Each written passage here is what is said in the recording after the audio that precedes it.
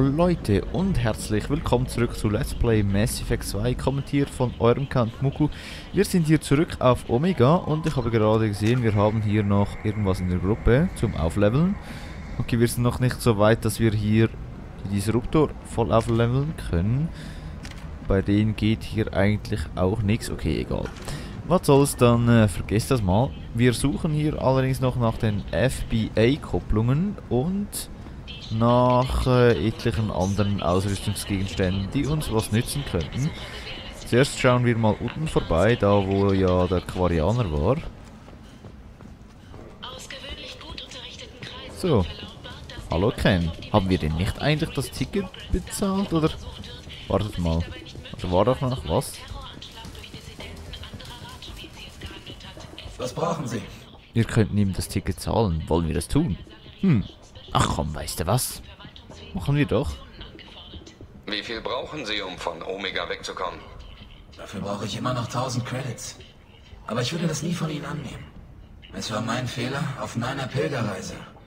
Also ist es auch mein Problem. Hier, bitte. 1000 Credits. Und jetzt weg von hier. Ich... Danke. Damit kann ich meine Pilgerreise endlich fortsetzen. Ich kaufe mir sofort ein Ticket. Nochmals vielen Dank. Wieso auch nicht, können wir noch ein wenig Vorbildlichkeitspunkte sammeln, obwohl wir die sowieso nicht mehr brauchen, da wir eh enorm viel haben. Oh, und wir können bei ihm die FBA-Kupplungen holen von National Stellar Dynamics. Okay, sehr cool. Gönnen wir uns. Schrotflintenschaden 50.000. Hm, merke ich mir mal. Wir schauen aber zuerst mal oben, ob wir dort noch was Wichtigeres haben dass wir noch eher brauchen und ansonsten holen wir uns den Schrotflintenschaden, sofern nichts anderes da ist, was uns noch mehr was nützt. Denn wir haben hier, wie ihr seht, noch enorm viele Dinge. Ja, unter anderem das Wichtigste überhaupt hier. ähm, weiß gar nicht, ob man, wenn man das kauft, das überhaupt irgendwo auf der Norm rumliegt. Keine Ahnung. Waffenschaden, okay. Stärkeboost, Stärke Boost Polster. Ja, okay. Sturmlaufgeschwindigkeit. Äh, alles Dinge, die wir nicht zwingend bräuchten. Allerdings noch ganz nett wären. Merke ich mir also. Oh, wir können hier mit Samara reden. Die Leute kommen an solche Orte, weil sie ein besseres Leben suchen. Und nach ihrer Ankunft finden sie das hier. Leute voller Leben, die auf einer Welt voller Verbrecher in die Armut gezwungen werden. Sie verdienen Schutz. Sollte ich unsere Mission überleben, komme ich vielleicht hierher zurück. So, kannst du gleich mit Martin zurückkommen. Was haben wir hier noch? Diesen Auflauf und hier noch Harrod mit seinem Emporium. Was haben wir hier denn? Reservemunition für schwere Waffen. Kostet kaum was. Modell. Naja. Kaufen wir uns einfach mal. Okay, so viel gibt es hier gar nicht mehr auf Omega, wie es ausschaut. Das heißt, wir holen uns bestimmt mal den Schrotflintenschaden und wenn wir dann noch Geld übrig haben, gönnen wir uns noch die restlichen Dinge hier oben, weil wir es können. Und weil es garantiert nicht schadet, etwas mehr Möglichkeiten zu haben, was die Ausrüstung angeht. Wahrscheinlich gibt es dann später auf Ilium auch noch wieder was Neues, vielleicht auf der Citadel ein, zwei kleine Dinge, aber nichts mehr Großes. Sonst nehme ich mal an, wir werden schon ziemlich viel haben. Wir gönnen uns diese hier, das noch, das hier. Ach komm, weißt du was. Und die Fornax, naja, okay. Die können wir sein lassen. Braucht man nicht unbedingt. Wollen wir noch schauen, ob wir mit den Solarianern reden wollen? Äh, mal schauen. Hm. Will ich das? I don't know. Könnten wir ja mal anschauen. Ist das Shepard? Grüße. Ich hatte gehofft, Sie würden vorbeikommen. Ich bin Ish und das ist Cell. Sie sehen aus, als wäre es gut, Sie zu kennen. Hm. Brauchen Sie was? Nun, wenn Sie so freundlich wären, könnten Sie über einen Vorschlag nachdenken, den ich Ihnen unterbreiten möchte. Ich brauche fähige, vertrauenswürdige Leute, die für mich ein kleines Geschäft erledigen. Natürlich nichts Illegales und gut bezahlen. Okay. Was für Geschäfte machen Sie denn? Wichtige Geschäfte.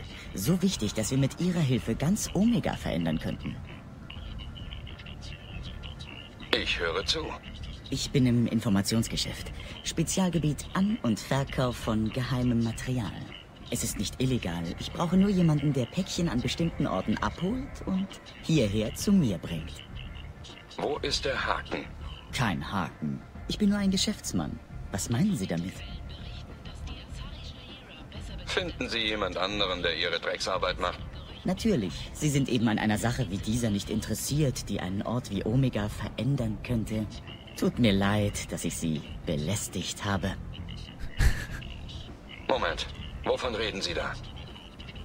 Nun, ich wollte ja nichts sagen, aber manche Leute hier machen Geschäfte mit anderen Leuten in der ganzen Galaxie. Wenn ich Informationen über diese Geschäfte hätte, könnten wir einigen Staub aufwirbeln. Mehr sage ich nicht. Nee. Finden Sie jemand anderen, der Ihre Drecksarbeit macht? Kommen Sie wieder vorbei, falls Sie Ihre Meinung ändern. Nun gut, wollen wir mal lassen, weil, naja. So Geheimniskrämerei passt mir hier ehrlich gesagt nicht, vor allem auf Omega, wo man sowieso kaum jemandem trauen kann. Also lassen wir das mal sein und düsen schnell zurück auf die Normandy. So. Dann hätten wir hier die Mission mit äh, Samara ebenfalls abgeschlossen. Sehr schön. Dann fehlt eigentlich nur noch die Loyalitätsmission von Tali und die Reaper FFS. Und noch ein paar kleine Nebenmissionen. Ich denke, wir könnten äh, bei den Nebenmissionen mal reinschauen. Danach die Reaper FFS organisieren und danach die Loyalitätsmission von Tali machen. Ich glaube, das ist keine schlechte Reihenfolge. Sollte am besten aufgehen. Hoffe ich mal. Und sonst schauen wir mal, wie es kommt. Hallo Kelly. Was Neues? Schauen wir mal rein. Nö, nichts Neues. Ähm, wollen wir nochmals mit Jack reden gehen? Naja, mal schauen. Zuerst hier noch rein. Wir schauen noch, was wir alles erforschen können, ob wir überhaupt genügend Material haben, um hier groß zu verbessern. Panzerungsupgrades haben wir keine mehr. Hier gibt es noch weitere. Extra Munition für Schrotflinten, nicht schlecht, vor allem für Grunt. Sturmgewehrschaden auch nicht schlecht. Oh, ho, ho, ho. Ach komm, weißt du was, das können wir uns so easy leisten. Das Helios Triebwerksmodul. Ähm, was haben wir noch? Krankenstation Upgrade kann mir mal sonst wo. Ähm, was haben wir hier sonst noch? Die Avalanche, wollen wir die mal ausprobieren? Nein, 15.000 Iridium ist halt schon... Ach, ja... Hier auf jeden Fall machen wir mal das, was uns wirklich etwas bringt, auch wenn es teuer ist natürlich. Boah, vor allem den Schrotflintenschaden auf 50% drauf zu holen, ist schon teuer. Aber wir haben schon ziemlich viele Upgrades. Wollen wir noch mal kurz reinschauen, was wir denn alles überhaupt schon haben? Damit wir uns ein Bild machen können, was wir denn alles noch brauchen. Okay, gönnen wir uns zuerst mal von oben nach unten, so wie es sich gehört. Boah. Äh, okay, was haben wir denn alles? Die Abklingzeit, okay, schön. Die Bauerbiotische Kräfte, hier voll ausgebaut, sehr gut. Mhm. Schaden, Heckmodul, sehr gut. Die Tanix-Kanone haben wir. Kopfschussschaden, Claymore, Vitalität 2 von 2.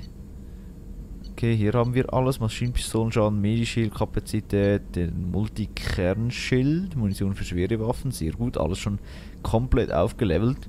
Hier Präzisionsgewehrschaden, fehlt noch einer. Okay, aber das ist nicht mehr viel auf jeden Fall.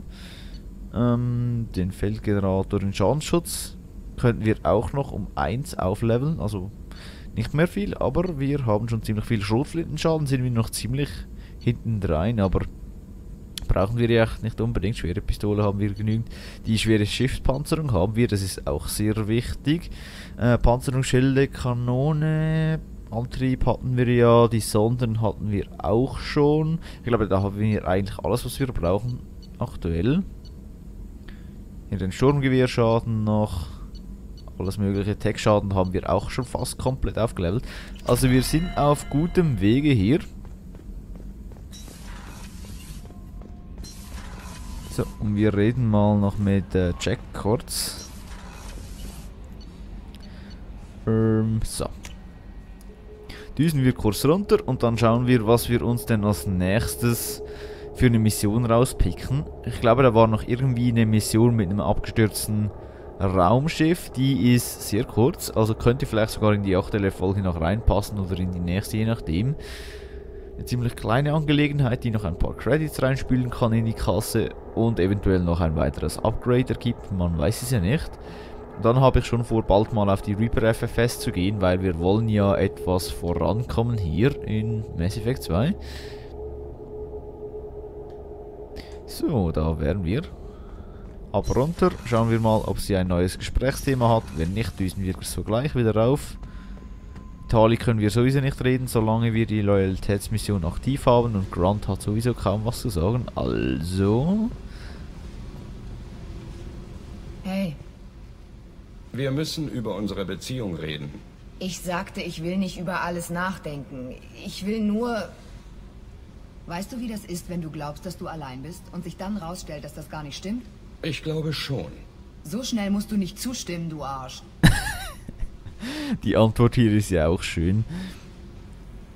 Wenn du nachdenken musst, warte ich. Ein Weilchen. Es ist nur... Es ist seltsam für mich und du lässt einfach nicht locker. Wie soll ich darauf reagieren? Du bist seltsam, Shepard. Das macht mich irgendwie an. Okay, alles klar. Jo, Shepard ist seltsam. Ich glaube, da muss man nicht unbedingt ein Genie sein, um da drauf zu kommen. Beste Deutsch in der Galaxie. Ähm, da wären wir. Und ab rauf. Na gut, immerhin kurzes Gespräch. Schnell erledigt die Sache, kein großes Tamtam. Ist auf jeden Fall noch angenehm. Jack ist ja auch ziemlich durch, aber irgendwie äh, mache ich die trotzdem. Nun gut. Dann wollen wir mal schauen, was als nächstes kommt. Wir sind ja auch bald am Ende dieses Let's Plays angelangt, also von Mass Effect 2 natürlich nicht der ganzen Reihe, das ist ja klar. Denn nach der Reaper FFS geht es ziemlich schnell und dann sind wir schon im Finale, kann ich jetzt schon mal verraten. Klar gibt es noch ein, zwei Dinge zwischendurch zu erledigen, das ist klar, aber wir stehen schon vor der Türe der Kollektoren, wenn wir natürlich das Reaper FFS beschafft haben. Nur noch herausfinden müssen, wie das Ding denn genau funktioniert. So, weg von Omega. Jetzt haben wir auch die Möglichkeit hier noch uns mehr Treibstoff reinzuhauen. Wir haben noch Bindur, ein Planet, der reich an Platin ist, weißt du was? Vielleicht hat er sogar genügend Platin, damit wir uns... Wow, okay, nice. Uns eventuell das Krankenstations-Upgrade trotzdem irgendwann leisten können. Starte Sonde. Einfach weil wir es können. Oder halt noch restliche Upgrades. Okay. Äh, noch gönnen können. Je nachdem. Halt auch noch die schweren Waffen, die noch da wären. Hier seht ihr halt auch noch den Vorteil des Shadow Broker DLCs, dass man hier solche Planeten erhält, wo man viel von einer Ressource hat und das kann äußerst praktisch sein in gewissen Fällen, wenn man dann halt entsprechend viel von einer Ressource braucht. Macht ja irgendwie auch Sinn. Und der Planet sieht ja auch schon ein wenig aus, als wäre der mit Platin durchzogen. So gräulich schimmernd wie der hier ist. Naja, schimmernd nicht wirklich, aber ihr wisst, was ich meine. Starte Sonde. Hier gibt es richtig, richtig fette Adern an Platin.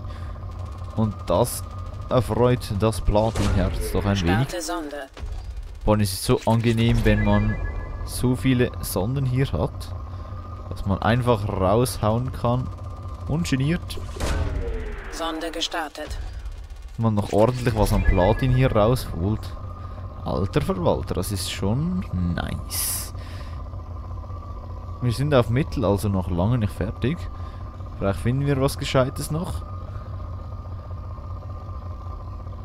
Mm, ja, das ist zwar kein Platin, aber eine gute Menge an Iridium. Sonde gestartet. Kann ja auch nicht schaden zwischendurch. niedrig. Aber weißt du was, da wir sowieso Platin benötigen wie sonst nichts, schauen wir doch mal, ob wir eventuell doch noch irgendwo eine Ader finden, die sich lohnen würde. Naja, mehr oder weniger. Sonde unterwegs. Hm, hm, hm, hm, hm. Gibt's hier sonst noch was? Wir düsen durch den Weltraum und suchen nach Platin, Sonde gestartet. aber finden nichts. Oder vielleicht auch doch. Naja, mal schauen. Hier noch irgendwo was? Nein, ich glaube jetzt haben wir dann den Planeten eindeutig abgebaut. Okay. Easy. Sehr nice. Oh, wir haben 60% hier schon von dem System. Das ist sehr gut. Wollen wir mal kurz ins Massenportal reinschauen? Boah. Äh, Planetreich und Platin ist trotzdem noch markiert, okay. Was haben wir denn alles hier drauf? Okay, okay, okay. Ah, das Soll-System haben wir natürlich auch. Okay, Reaper FFS, abstürzendes Schiff, das ist das, was ich gemeint habe, oder Tali. Ich denke, wir düsen jetzt hier zum abstürzenden Schiff, wenn wir den treffen würden. Oh, das ist ein wenig mühsam hier zu treffen. Okay, hier ist es, das System. Wenn halt die ganzen Infos aufploppen und man nicht durchkommt, ist dann schon ein wenig nervig, aber gut, was soll's. Wir machen das allerdings am besten erst in der nächsten Folge. Weil und so bekommen wir hier ein paar Planeten noch, rohstofftechnisch. Und er sieht hier cool aus. Und dann gehen wir in der nächsten Folge so gleich auf den Planeten. Ich will jetzt nicht unbedingt noch riskieren, dass ich die Folge abnormal überziehe. Auch wenn ich annehme, dass die Mission ziemlich kurz sein wird. Aber was soll's. Wir brauchen ja sowieso noch weitere Ressourcen. Zwar nicht mehr so viele wie auch schon. Aber sicher genügend. Starte Sonde. Insbesondere die 50.000 Platin hätte ich dann doch schon noch gerne. Einfach ein wenig wegen Komplettierungswahn und so, ihr kennt's ja. Okay, aber ich denke, hier finden wir nichts mehr Großes. Darum düse ich hier auch ein wenig schnell durch. Ja, naja. 33%. Okay, wo ist denn hier der dritte Planet? Äh, okay. Hier den unerforschten Planeten, den Ionus, wo das Schiff abstürzt, können wir ja auch noch untersuchen. Auch nur Mittel. Boah. Das ist ja schon ein wenig deprimierend hier. Oh. Das kann man zum Beispiel noch mitnehmen. Jo, und dann ist es auf niedrig. Aber wo zum Teufel ist der letzte Planet? Oder bin ich einfach nur blind? Ähm. Okay. Oder zählt die MSV Broken Arrow hier noch dazu? Das glaube ich jetzt zwar ehrlich gesagt nicht. Aber, äh, puh. Was haben wir hier? Drei Umlaufbahnen. Dann heißt es hier auf der äußersten müsste es ja fast schon sein. Irgendwo vielleicht so ein kleiner Kachplanet. Äh, Massenportalsprung? Nö, das ist es nicht. Hä? Okay, vielleicht bin ich einfach nur blind, kann auch sein. Egal. Dann machen wir das in der nächsten Folge. Das war wieder mal Let's Play Mass Effect 2. Kommentiert von eurem Count Muku. Vielen Dank fürs Zuschauen. Tschüssen.